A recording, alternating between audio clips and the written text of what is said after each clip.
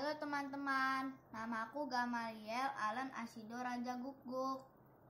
Aku dari kelas 3A.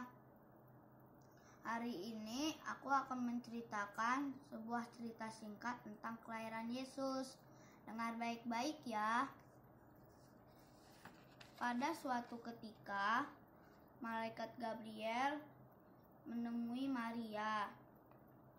Nah, pada saat itu Maria sangat ketakutan.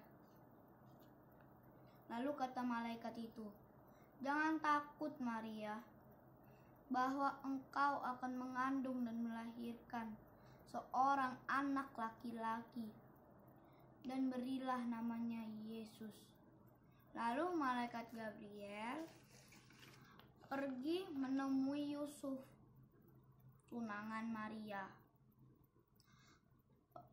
malaikat Gabriel menemui Yusuf melalui mimpinya. Nah, pada saat itu juga Yusuf sangat ketakutan. Kata malaikat itu, "Jangan takut Yusuf keturunan Daud, bahwa Maria akan mengandung dan melahirkan seorang anak laki-laki dan berilah namanya Yesus." Nah, mereka berdua percaya perkataan malaikat itu. Nah, mereka diperintahkan oleh Kaisar Agustus untuk mendaftarkan diri ke Bethlehem.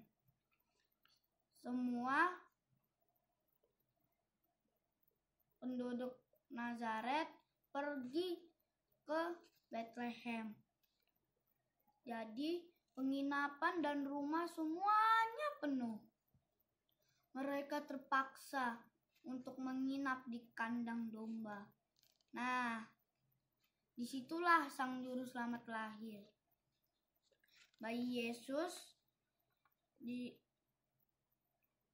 ditutup dan diselimuti dengan kain lampin dan diletakkan di palungan Nah, berita kelahiran Yesus ini didengar oleh ketiga orang majus yang berasal dari timur. Nah, siapa yang tahu ketiga orang majus itu? Siapa aja namanya?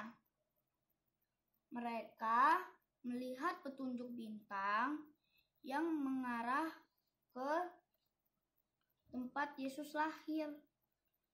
Nah, sesampainya di tempat Yesus lahir, mereka menyembah dan memberi barang yang sangat mahal.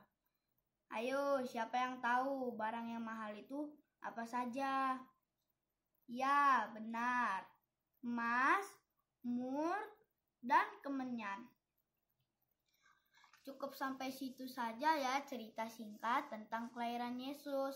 Damai Natal senantiasa bersama kita dan selalu bersuka cita. Tuhan memberkati. Sampai jumpa.